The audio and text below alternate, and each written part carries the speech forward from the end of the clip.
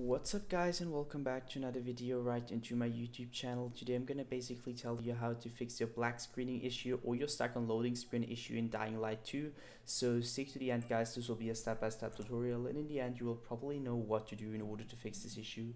Before we start right into the video, I just want you guys know, let you guys know that I would really, really appreciate it if you would just leave a like, a comment, or a subscription right onto my YouTube channel. It would really make my day and help me out as a little YouTuber as I am. Especially subscribing would be such a big support for me, guys. You would support my work here on YouTube a little bit, and I'm gonna really be thankful for that and thank you for that. So, anyways, I would just say, let's get right started. So uh, as the first step, I would personally recommend you to uh, navigate down to the bottom left corner of your screen, clicking onto your Windows symbol and uh, using your Windows search function in order to find the Windows Defender firewall by just um, typing in Windows and once Windows Defender firewall pops up, you should be able to click enter or just simply left click it.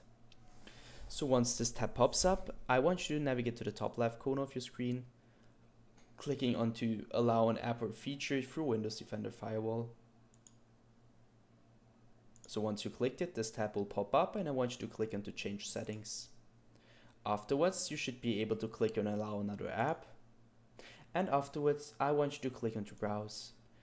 Where I want you to simply search for Dying Light 2 and I can really tell you now where it is because on every single PC it is located some somewhere else. So just search it and once you found it, click on to open and click on to add yeah guys that's it for the video. I hope i could actually help you out with this one. If it was like that just leave a like a comment or a subscription. And yeah guys i'm sorry if i couldn't help you out but i'm just trying to do my best in order to help you out. Either way i hope you guys if you have a wonderful day see you at the next one and bye